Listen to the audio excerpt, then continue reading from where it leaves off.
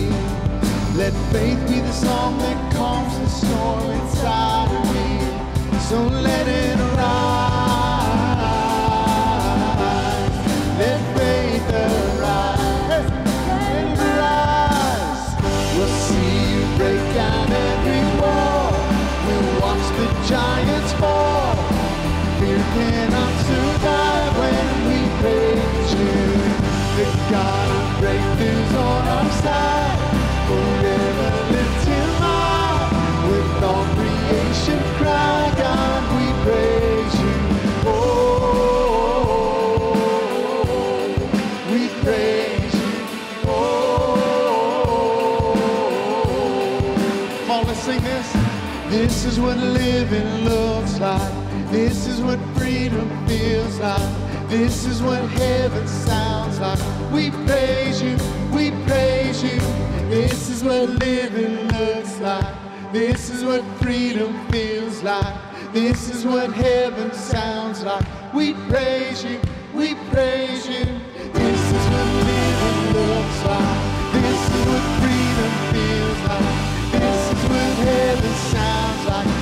Praise you, we praise you.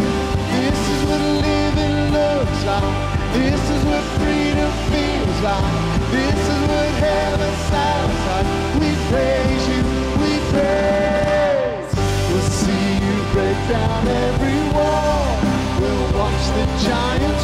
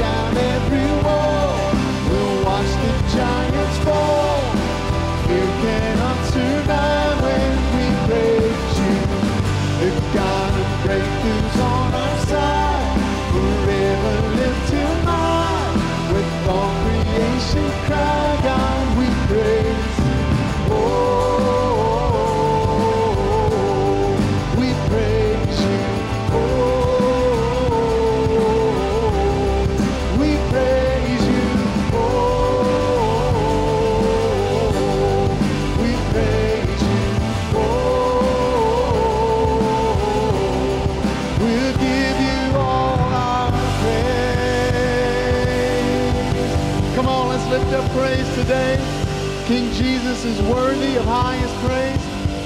Hallelujah, Lord. We love you, Father. We declare your goodness today. We declare your power and your strength. We declare the name Jesus over every circumstance today.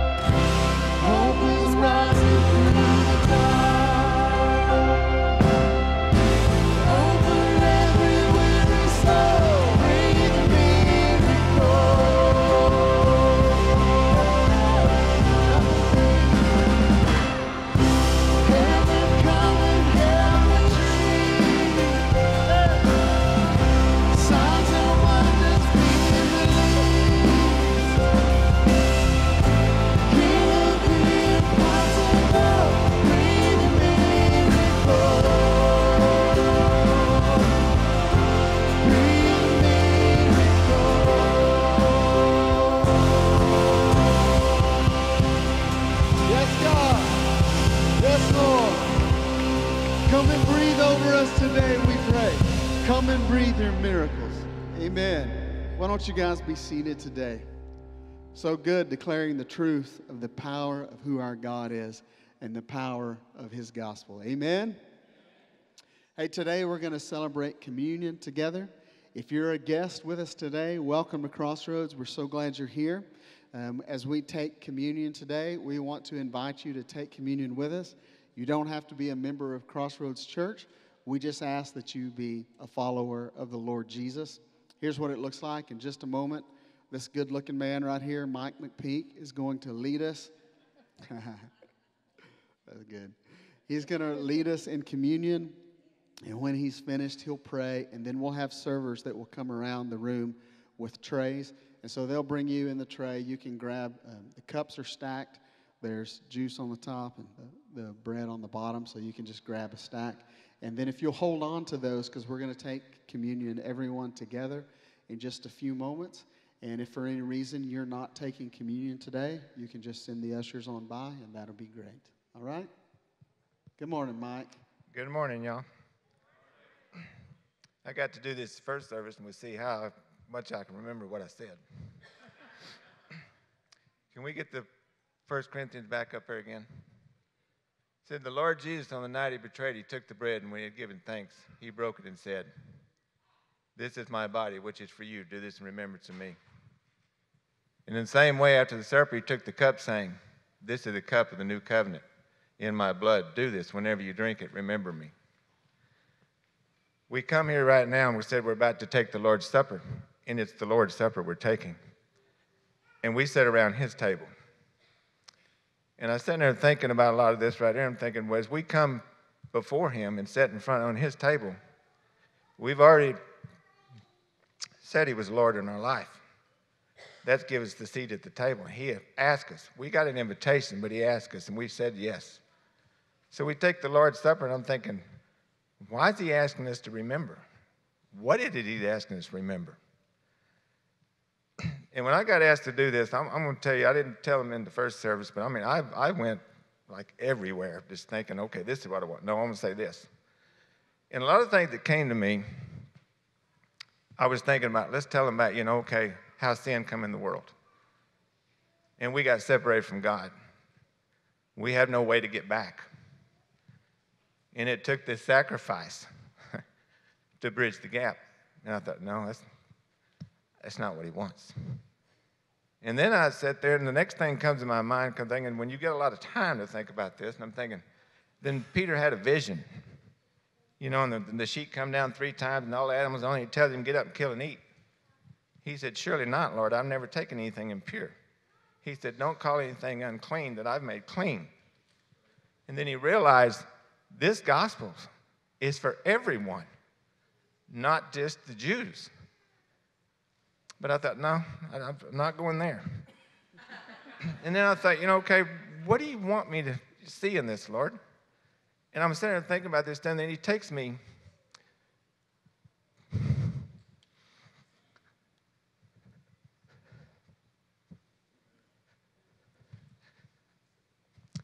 You know the the disciples were huddled up in a room in fear. Mary just been to the tomb. She runs back to him and tells him, It's true, he's alive. And they didn't believe her. And then later on, the two men from the, two disciples from Damas, uh, going the road to Emmaus, when they recognize Jesus and realize it's alive, he's alive, it's true, they run all the way back to tell somebody else. And all about the disciples, I'm sitting there thinking all this stuff, what they couldn't see or what they didn't know. They didn't know it was true, and they kept getting reports it's true. It wasn't until Jesus stood amongst them and they knew it's true. He's alive. And I'm telling you right now, He is alive. And I'm sitting there, and God took me down the road, and I'm thinking, what would take a man that denied the Christ three times after he told him, I will lay my life down for you? He said, Really? But you'll deny me. What would take that same man when he knew it's true and he found out Jesus is alive that he went to preach and you couldn't shut him up? What would take a same man that was bent on killing Christians to turn him around to preach to Christians? What would take two men that sat there and they traveled all night, all day long, and it's nighttime, and when they found out it's true, to run back and tell somebody else? That's where he took me. That is the power of the gospel. That is what changes you.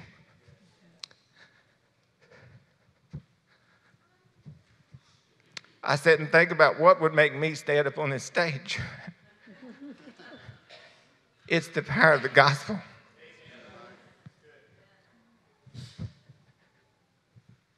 And I keep thinking about what did he want us to remember? He wants to remember what he did for us. He got on a cross. They didn't make him, he got there. They didn't take his life, he laid it down. And he stayed on that cross to pay for a penalty we couldn't pay for. He shed his blood. so, you know what? He said, You're forgiven now. You have a home. You have the right to be called a son and daughter. You have a right to know you have access to the Father now, that you can walk in there and you have the right to do that because of what He's done. You have been given freedom. It says we have been given freedom from the power we've been held slavery to death all our life. We've been given freedom from the wrath of God. We've been given freedom to walk in a newness. And this sacrifice, and every time I think about it, what does He want us to remember? Remember what He's doing in your life and will continue to do.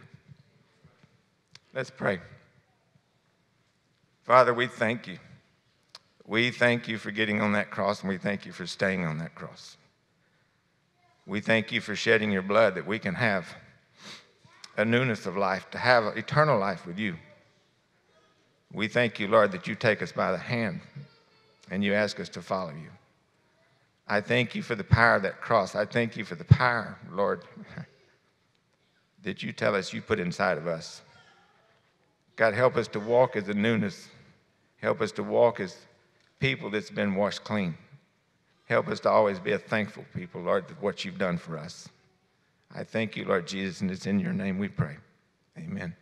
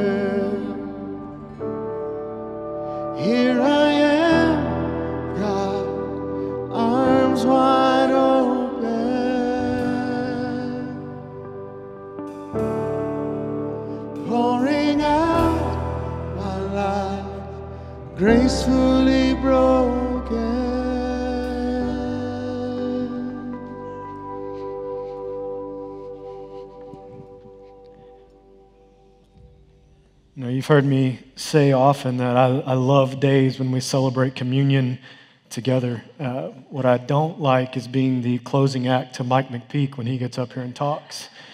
Um, if you're sitting in this room and are wondering, is this gospel story real?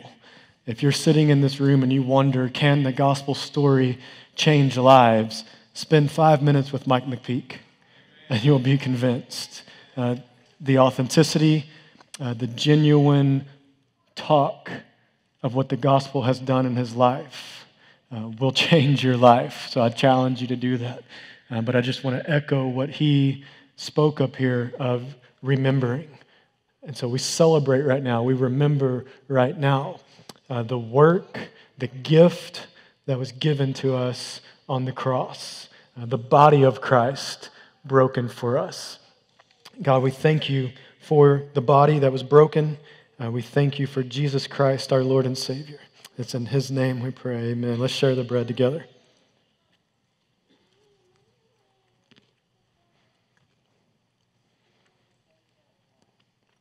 Lord, thank you for the blood uh, shed for us, the blood that covers us, the blood that cleanses us, uh, the blood that takes our shame, that takes our guilt, and that calls us your own by the washing of it.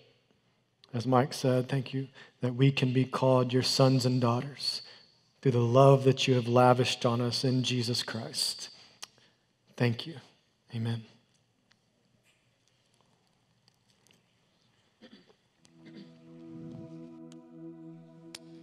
Amen. Let's stand up together. We're going to do two things at once. We're going to have some folks come by and they're going to take those cups from you. And at the same time, we're going to release our students, eighth grade and younger, to go to class. Again, if you're a guest today, you've got students, and you would like for them to go to class, you can just follow. You can see Crossroads students already heading out. You can follow them out to the lobby, meet their teacher, and then come back in. Today, we're going to continue to worship. We're going to begin a new series today called Vital Signs, and it's really just to take, um, take a look at how are we doing living the spirit filled life? And what does the fruit of the Spirit look like expressed in our life? And you know, today we have sang about the power of God. We've heard about the power of the gospel to bring life and to change life. We've sung our response back to Him in praise. And now we're going to continue with the theme of surrender. And so as we sing this song, pray this song out. This is a song of surrender to the Lord that He would come and move in us in such a way that we offer everything that we are and everything that we have to Him. And He will come as a fire like He does to a sacrifice. This is called refiner today.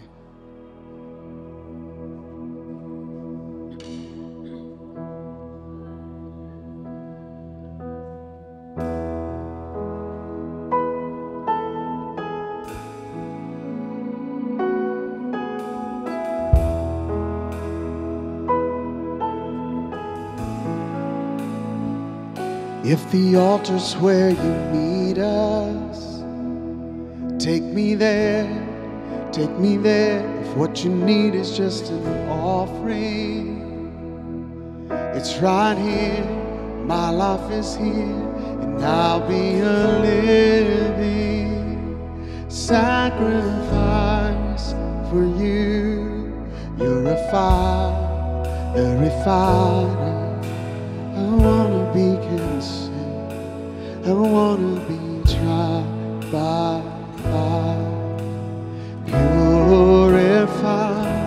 You take whatever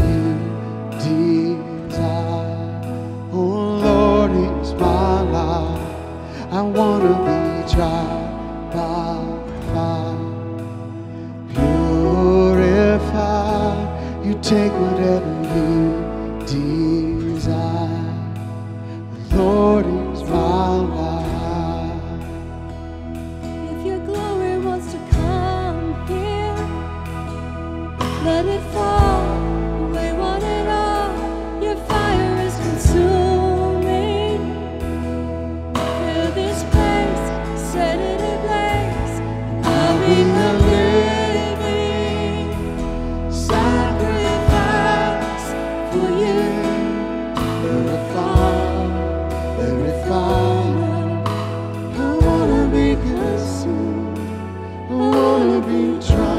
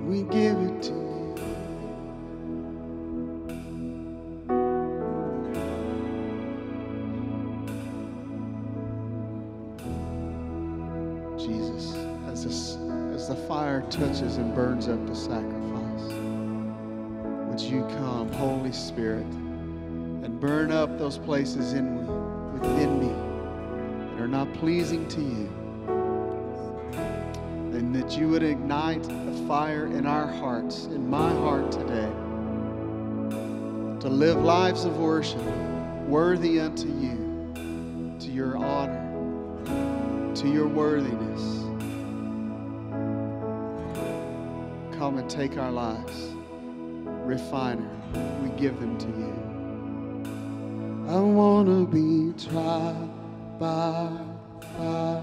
Sing it. Purify. You take whatever you desire. Lord, here's my wanna be. I wanna be tried by. Purify. You take whatever you desire.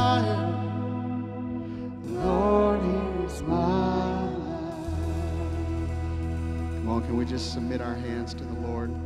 God, as we turn our hands up toward you in a sign of surrender, we give you all that we are. We give you every part of our heart. Come and move. Come and breathe hope and life. We pray today in the name of Jesus. Everyone said, Amen. Amen. God is good. Amen. Amen. You may be seated. Well, I get the joy of being the welcome guy today. but I'm not going to do what Mike McPeak did, and I'm not going to tell you that there's a worship night coming up on September the 5th. I'm also not going to tell you that you can register ladies for the women's Bible study that starts, I think, this week. I'm not going to tell you those. What I want to tell you is welcome to Crossroads. We're so glad you're here. If you'll look um, on the screen, there's a number if you're a guest. Oh, thank you, Jamie. That was great. Um, if you'll see, you if you're a guest, you can connect uh, text to that phone number. Take two. If you're a guest, you can send a text to this phone number and fill out the connect card, and you can receive a nice gift on your way out. If you're joining us online, you can do the same. We're so glad you're watching.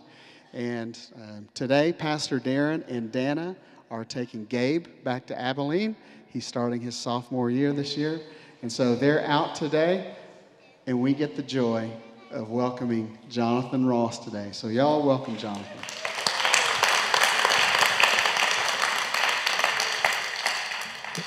Thank you, Barry. I got to have my walking space up here. If you got your Bible, turn to John 15. We're going to be in John 15 for uh, the majority of our time together this morning.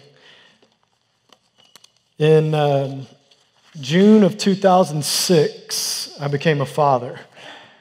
And to celebrate my first Father's Day in 2007, uh, I decided to go skydiving.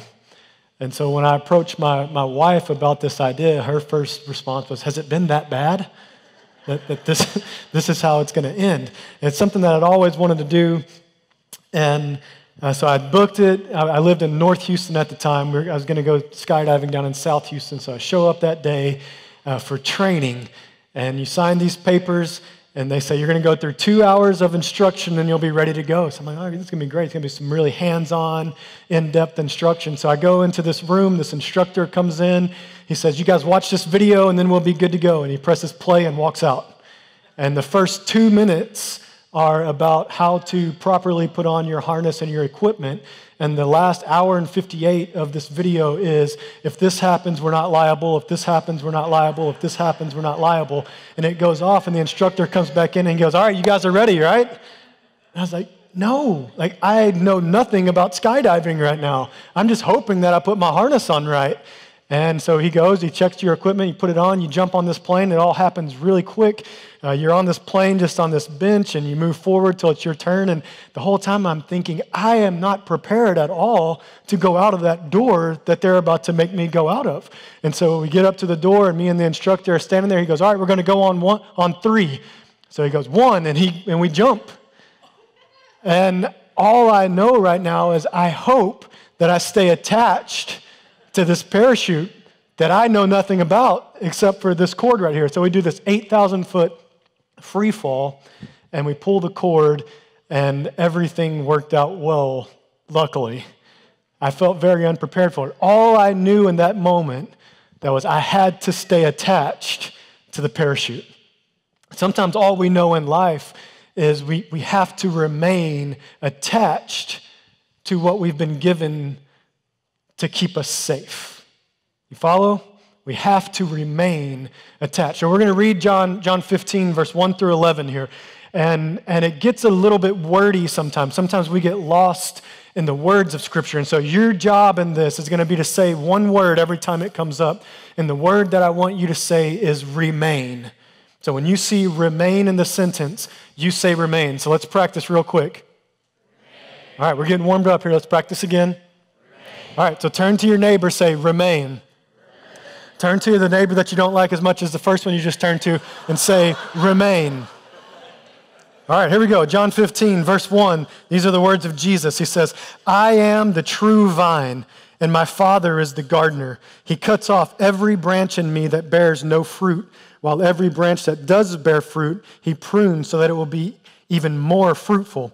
You are already clean because of the word that I have spoken to you. Come on now. In me, and I will in you. No branch can bear fruit by itself, it must in the vine. Neither can you bear fruit unless you.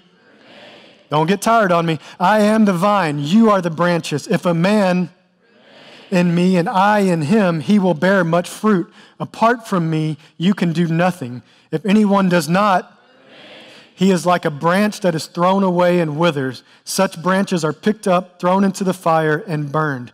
If you, in me, and my words, in you, ask whatever you wish, and it will be given to you. This is to my Father's glory that you bear much fruit, showing yourselves to be my disciples. As the Father has loved me, so I have loved you. Now, in my love, if you obey my commands, you will, in my love, just as I have obeyed my Father's commands and in his love. I have told you this so that my joy may be in you and that your joy may be complete. Let's pray. God, we are grateful for your word.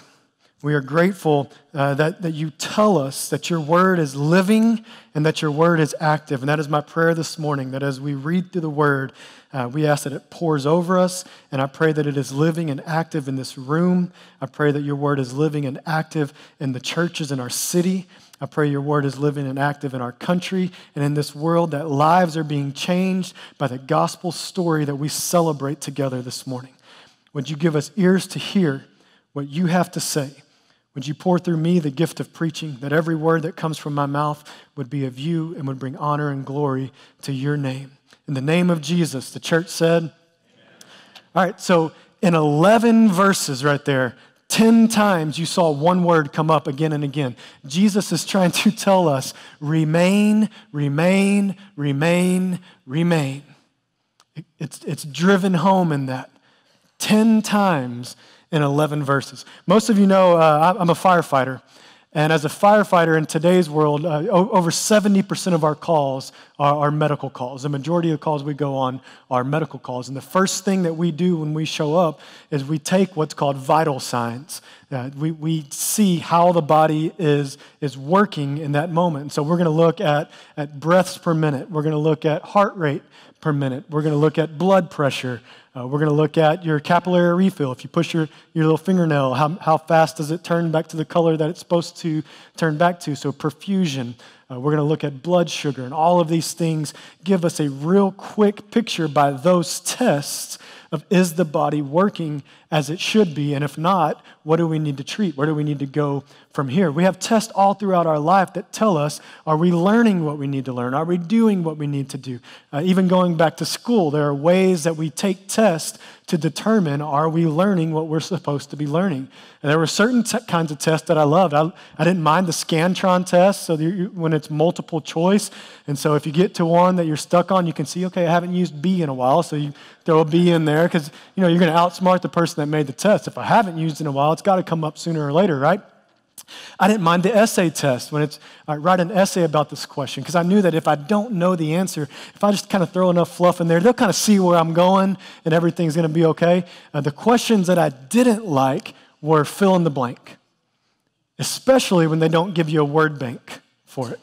And so you're, you are left out there, naked as can be, for the teacher to see do you know the answer to this or not? And we take tests all throughout life. One, one of the things in, in history that comes up is the way that things were created, the way that, that things came to uh, be used for how we use them today. And in, World War II, uh, Raytheon, the company, created these things uh, called magnetrons that were used uh, in the military in World War II. Uh, they were used to generate waves for short short range military radars. But when World War II was over, they had all of these magnetrons that they weren't sure how are we going to use these uh, now that there is no war going on. And so they began these, these lab researches of how can we use these magnetrons. And a man named Percy Spencer in 1946 uh, came up with the theory. He's standing in this, this lab uh, research room and he's got a peanut bar in his pocket and he notices that as these magnetrons are going off, this peanut bar is warming up in his pocket. And so he's like, okay, maybe we're onto something here. So the next day, he brings a, a, bag of popcorn kernels and he holds it up next to the magnetrons and he turns them on and the bag explodes. And so the next day, he brings an egg and he puts the egg next to these magnetrons and the egg explodes. And so in 1955, nine years later, commercially, we now have the microwave that came from those studies. And in 1955, the first microwave, this is not with inflation added in there, the first microwave sold for $1,295, which today would be the equivalent of about $11,000 on a microwave.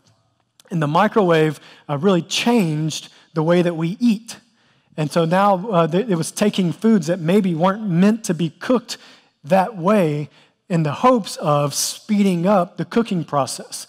But there are foods that aren't meant for the microwave. You don't, you don't take a steak that's meant to be on a grill and put it in the microwave and get the same result. You don't take a brisket that's meant for a smoker and put it in the microwave and get the same result. You don't take a roast that's meant for a crock pot and put it in the microwave and get the same result. Uh, one of the, the worst feelings in life is when you warm something up for a minute 15 in the microwave, uh, leftovers from last night, you warm it up and you bite into it and it's still cold. Isn't that terrible? But we've tried to speed up this process. And a lot of us in our spiritual lives have, have tried to, and I, I, hate even using that term, spiritual life. That's just a term that, that's in our culture, but all of our life is spiritual. But I'm, I'm going to I'm gonna go along with it right now. In our spiritual lives, uh, we, we've began this, this microwave type of faith. That, okay, in the morning, I'm going to set two minutes on my timer. God, you got two minutes, go. And I'm going to say what I need to say. Whatever time's left, God, you fit in there. So, all right, go. So we say what we need to say. Okay, God, how do you respond to that? And, and, and you can almost hear God going, okay, up, time's up. and we walk off. And then we get to the middle of the day and it's, man, why is God not speaking today? It's because your minute 15 ran up, the, the timer rang, and you took off. But we have this microwave type of faith that we want to speed things up, and then we wonder why we're still cold in the middle. So, how can we get, you know, God is, I heard this guy say recently, God is a lot more like a crock pot than he is a microwave. That, that, that'll tweet right there. You know, a lot of times I say, uh, I'll preach, that'll tweet. God is a lot more like a crock pot than a microwave. And that's not for me, that's for somebody else. But we've, we, we've fallen into this way of microwave faith. And so then these questions come out of that. We hear these phrases in our culture of, I, I need to go on a journey of self discovery. I need to find myself. And I'm going to give you the microwave, the shortcut version to find yourself is this two words find Jesus. If you seek Jesus, you'll find yourself. Seek Him, find you. That, that's the intent of the gospel writers. You have four writers who their whole intent behind their book is to tell you the identity of Jesus. John, uh, I love the book of John, and John spends his whole book giving you, with Jesus' words, this is who I am. I am blank. And we're going to read through those in just a second. I am blank. I am blank. Jesus is telling you his identity. The other three writers, Matthew, Mark, and Luke, they spend a lot of their times telling you what Jesus did, but don't get lost in that because what they're trying to do is their, Jesus' activity is pointing to his identity because everything is coming back to who Jesus is. And when you find Jesus, you will find yourself. Seek him, find you. It was the intent of the gospel writers. So John goes through these seven statements, these seven I am statements of Jesus to who he is telling these people that he is. He says these, these seven things. He says, I am the bread of life. I am the light of the world. I am the door. I am the good shepherd. I am the resurrection in life. I am the way, the truth, in life. And I am the true vine. Now, don't get lost in this, in this wording because he adds the word true in there. If he would have said, I am the vine, we, we see through the Old Testament the Israelites, the people of God, are, are often called the vine. And when a prophet comes to confront them, he says, You're bearing no fruit. We see that a couple times in the Old Testament where the indictment that is brought onto the people of God is you're the vine, but you're bearing no fruit. So, what are we going to do about that? Because we see this cycle all through the Old Testament of we do things on our own. Okay, now we're attacked, or now something's come against us. God, help us. We'll turn back to you. And then after years, okay, let's go back to doing it. It's just, I mean, I'm glad that doesn't happen today, right? But he says, I am the true vine. And that's why he adds that word in there. He says, You thought you were the vine, things have changed now. I am the true vine, and will you be connected to me? Because you can only, you're only as fruitful as the extent that you're connected. If you're not connected to the vine, if you're a branch, which that's what scripture calls us in this, in this uh, analogy, if you're the branch, but you're not connected to the vine, you can't be fruitful. You're only as fruitful to the extent that you're connected to the vine. And that's what he's saying here. I am the true vine, you are the branches. And here's what that looks like. If I'm the vine, will you remain connected to me? And in verse 5, he says this He says, Apart from me, you can do nothing. Now, what, what, what our internal Bible says is, apart from me, you can do some things. Apart from me, you can do the little things.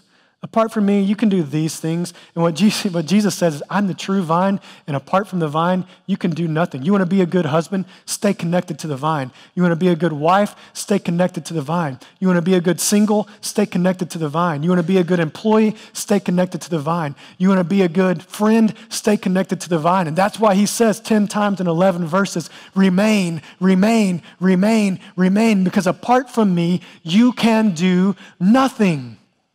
And our minds can't handle that because that's not what Dr. Phil tells us. That's not what self help books tell us. They say, oh no, you can do these things. And what he says is through Christ, through the vine, you can do things. But when you are separated from the vine, when you are apart from God, you can do You can do. And do you believe that? You know, when I became a father, there, there were these moments uh, where my kids would be doing a, a, specific job. We would be doing Legos or we'd be doing a puzzle. And I would say, Do you want me to help you with that? I do this myself. We, us parents have been there, right? I do this myself. And so then you sit back and wait for the moment when they're going to need your help.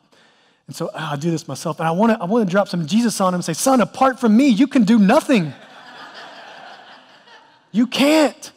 But you wait for the moment when it's, okay, I need you. I need you. And we step in as a father. We step in and do that. And God says, apart from me, you can do nothing. But our minds, we talked about this a couple weeks ago, our minds think that, that God is running on limited resources. And so we, we see someone else's life that we judge as worse than ours. So, okay, they're going to need that much of God. So I'm only going to ask for this much of God. And I, and I want to tell you again God has unlimited resources to pour out into your life. And apart from Him, you can do nothing. But through Christ, we can do all things. That's what Paul tells us. Through Christ, we can do all things. And so, what's your job in this? This is in verse 8. Your job in this, he says this To my Father's glory, you bear much fruit showing yourselves to be my disciples. So, your job, why are you here? You're here to bear fruit. Why are you connected to the vine? You're connected to the vine so that you'll bear fruit. You're not here just to be here. You're not here just to say, oh, I, I want to I wanna be part of this tree. You're here to bear fruit. And so we talked about tests earlier. We talked about these vital signs. And so, what I, what I want us to do this morning is I really want you to test yourself Am I producing? Am I growing? Am I connected to the vine to where I am bearing fruit for the glory of God? And the litmus test for that is laid out in Scripture as well. If you'll turn to Galatians 5, he lays out you want to know if you're bearing fruit? Here's what fruit bearers look like the fruit of the Spirit is love, joy, peace, patience kindness, goodness, faithfulness, gentleness, and self control. Say those again. Love. Let's test ourselves real quick. Love, joy, peace, patience, kindness, goodness, faithfulness, gentleness, and self control. If you are bearing fruit, that's what you're going to look like. And I want to be really clear that in the first sentence of that scripture, there's one letter missing that we often put in there, and that's where it says fruit of the Spirit and not fruits of the Spirit because we don't, we don't get to pick and choose which one of those we want to bear and which ones of those we want to produce. If we are connected to the vine, producing fruit, you will be growing and producing in all of those. I don't get to have myself some love and, and neglect patience. I don't get to have myself some self control and neglect faithfulness. If you are connected to the vine, you will be producing the fruit of the Spirit. And if you're not, here's what that looks like. The acts of the sinful nature are obvious sexual immorality, impurity, debauchery, idolatry, witchcraft, hatred, discord, jealousy, fits of rage, selfish ambition, dissensions, factions, envy, drunkenness, orgies, and all the like. And so maybe you read that list and you're like, well, I'm good. I don't, I don't, I don't get involved in any orgies. Oh, I'm good. I don't, I, don't, I don't get involved in that. Well, how about fits of rage? I cannot believe that person is still driving in the fast lane. Right? We have these fits of rage that we get in, and then we end up at the same red light right next to that person, even though we flew around them and cut them off. Why? If we are producing fruit, use this as a test for your life right now. If you are growing and producing fruit, this will be what your life looks like. That doesn't mean it has to be 100%, percent complete in those things yet. But if you look over the last, however long you, let's say a year, six months, whatever, are you growing in these things? Are these things evident in, in your life? And if not, what needs to change? Well, the first thing that needs to change is your connection to God. And we got to get back to that word that's used 10 times in those 11 verses remain, remain, remain. Have you left? If you're, if you're not producing the fruit of the Spirit, have you left? Are you connected to the vine or not? A couple months ago, the storm came, came through Decatur, and I came home from work that morning. Uh, we had had about 100 mile per hour winds at our house, and all these branches are down. All these branches are torn off trees. Some of the trees are, are broken in half. And you know what uh, branches that fall off trees do? They die. You can't reconnect them, they don't remain on the tree. Through grace, we have an avenue to reconnect. Through grace, we have an avenue to come back and remain. But as long as you are disconnected, you will not bear fruit and you will not have life. That's real talk. As long as you are disconnected from the vine, from Jesus Christ, you will not have fruit and you will not have life. And so, search yourself. Are these things that are being produced in your life? You know, when, when you see fruit on a tree, when, when, let's, let's use an apple an apple tree. When you see an apple hanging from a tree, have you ever realized that that apple does not have to try to be an apple? That tree, you can't hear that tree groaning trying to produce an apple. You know, in, in our lives, we, we, go exercise and we moan and groan and we're trying to get bigger, we're trying to get fit. An apple doesn't have to do that. You don't walk by a tree and hear this apple ah, and trying to produce an apple. Because, sorry, I made myself laugh there. Fruit isn't a burden of the branch, fruit is the byproduct of its connection to the vine. Fruit isn't a burden of the branch, it's, it's Jesus, the vine. We're not a burden to Jesus. We're the byproduct of our connection to Him. Our reflection is not a burden to Jesus. Our production is not a burden to Jesus. It's the byproduct of our connection to Him. And so, as you test yourself, as you examine yourself, are you connected to the vine? And if so, are you bearing fruit? And what does your fruit look like? if we're bearing fruit, we should bear the kind of fruit that people look at and want. Not for our glory, but for God's glory. The production in our lives should be evident to point to the vine, to where people look at our lives and say, I got to have me some of that. I got to have me some love and joy and peace and patience and kindness and goodness and faithfulness and gentleness and self control. Maybe you've been to, to a resort before uh, where they put out the, the fruit buffet. And man, it's good. You got this tropical fruit. You know, but some of us have been to supermarkets or you've been to maybe it happens in your kitchen where you look at this fruit and it's like, oh man, I don't want to bite into that. That's cold in the middle. Something's wrong with that. Because fruit is not for itself. An apple doesn't become an apple so it can eat itself. An apple becomes an apple for creation, for us, for animals to give nutrition to. And catch this right here. When fruit begins to eat itself, you know what that's called? Rotting. And so when the production in your life is for you, when you're using the fruit of your life or the production in your life for you, you're rotting. We're called to bear fruit, as verse 8 tells us, to bear fruit for God's glory. For others to see and say, I got to have me some of that Holy Spirit fruit. Where's your fruit at?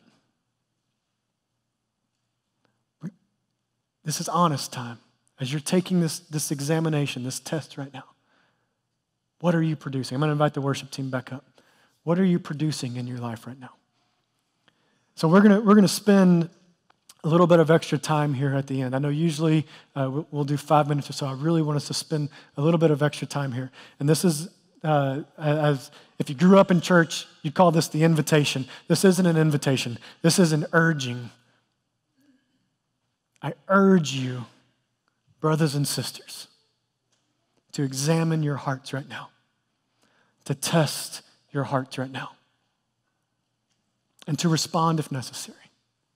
You know, to throw some King James at you. I beseech you, brothers and sisters, to examine your hearts, to test your hearts right now. And are you connected to the vine? And if not, let's use this time right now. Maybe we don't even know how to reconnect to the vine. Let's, let's just ask that question God, how do I connect? How do I reconnect to you? And give time for response. The buzzer's not about to go off. The alarm's not about to go off. I'm going to invite our, our prayer team up here as well. They're going to be on the outside. So if you want someone to pray with, uh, I'd love for you to go to them. The spot right here is just going to be open. There's nothing, nothing special about this carpet right here, nothing special about the stage. It's just space. If you need some space to respond, here it is right here. If you want to stay in your seat, if you want to pray with your spouse, I, I really want to besiege you to use this time to examine Am I connected? What is the fruit being produced in my life right now? Am I producing good fruit right now? And if not, let's use this time to fix it. What do we need to do to reconnect? What do we need to do to get back to? And Jesus uses this word remain, remain, remain, remain. Sometimes that's all we can do in the morning. As we wake up in the morning, all we can say is, God, I'm going to remain today. I know things are hurting, but I'm going to remain today. I'm going to remain a husband today. I know grief is going on, but I'm going to cling to the rock today. And, and, whatever it is going on in your life right now, maybe all you've got to do, maybe all the strength you have right now is to remain. But a year from now, that's not where we should be anymore. And if we're growing, if we're producing in the Spirit, we should be a step further than remaining. And there should be production, there should be growth. And if there's not, if you look at the last year of your life and there's not, we've, we've got to look to the vine. Maybe we've, maybe we've done all the self help, self discovery, find myself stuff. Have you found Jesus? Is it time to reconnect to the vine? And this is the last thing that Jesus says, or not, it's not the last thing he says, last thing I want to say. One of the first things he says in the scripture is he says, God is the pruner. He will do the pruning of your life. And there are some things in this room right now, there's some things in our lives right now that are obstacles to our growth. There are some things in our lives right now are, that are obstacles to us growing into who we are called to be, that need to be pruned, that need to be snipped. And I'm gonna be honest, sometimes it hurts. I mean, if you can just get that picture, let's, let's say we're a rose bush. I'm not a gardener, I'm not a plant guy. I have some roses in my yard, and I know that they have to be snipped.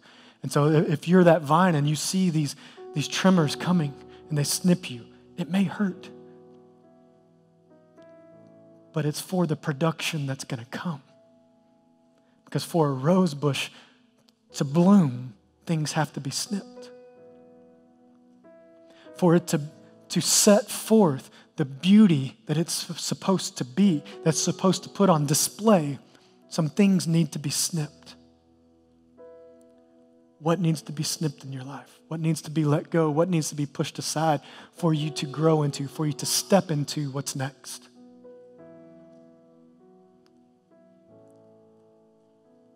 And so I really want just some honest self examination right now.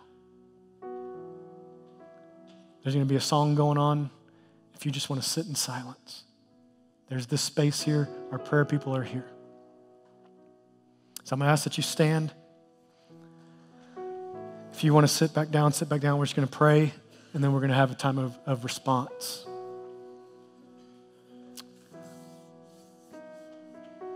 Lord, as we sang earlier, I pray that the truth of those words would come off a screen, would come off a page. And our prayer is that we're tried by fire, purified in the name of Jesus. And that process may hurt, but it's necessary. Lord, I pray for those in this room who only have the strength to hold on and remain right now. And I pray encouragement over their heart. In the name of Jesus, that you would bless them with the strength to remain. We're not going to turn away. We're going to decide this morning, we're going to decide this afternoon, we're going to decide this evening, we will remain. And I pray for those in this room who look at their lives and wonder what the fruit is. Lord, would you produce it in our lives?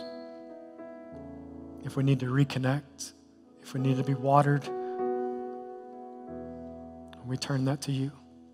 Cleanse our hearts, purify our hearts, and the glory of your name.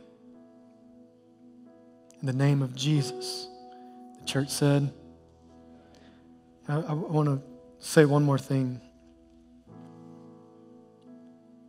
God is more interested in our growth and production. God is more interested in our reflection of Him than He is in our comfortability in life. God is more interested in the journey that we're on than He is in your comfortability of the moment. So when we talk about things that need to be snipped, maybe that's what needs to be snipped is your comfortability. When we talk about things that, that need to be to be cut off, maybe it's stepping into the unknown. I'm not comfortable with that. It reminds me of a prayer that Jesus prayed of God, if there is any other way, not the comfortable, not the comfortable way. If there's any other way. Okay, there's not, I'm going to be faithful. I'm going to remain. What's he calling you to today?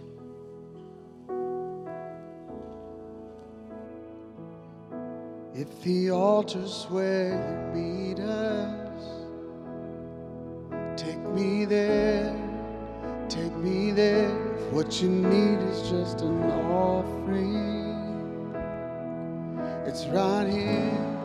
My life is here, and I'll be a living sacrifice for you. You're a fire, I wanna be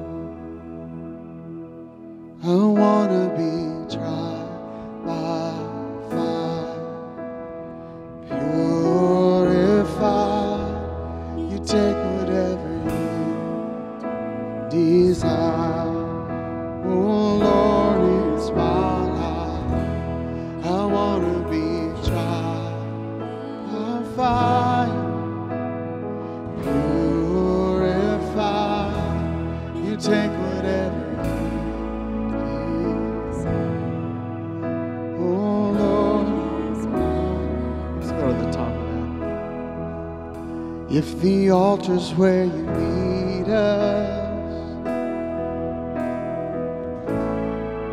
take me there. If what you need is just an offering. Oh, it's right here. My life is here, and I'll be a living sacrifice.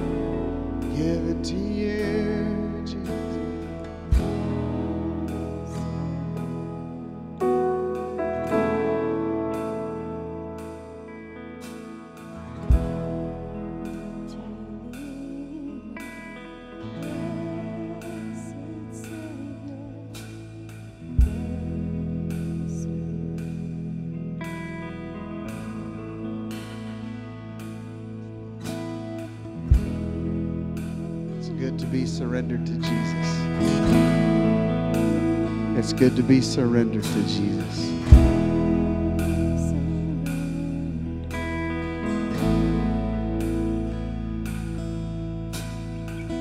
If you will extend your hands, let's receive a blessing today from Galatians 5.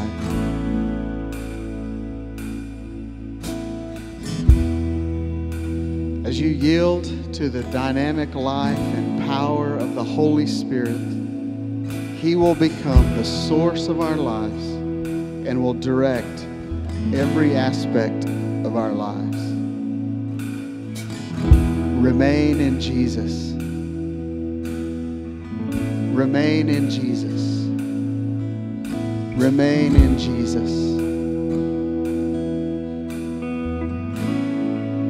And may God bless you and all those you love, now and forevermore. We pray the name of the Father, and of the Son, and of the Holy Spirit. Everyone said, Amen. Amen. God bless you guys. If you want to stay in worship, we're going to stay for just a few more minutes. You guys have a great week.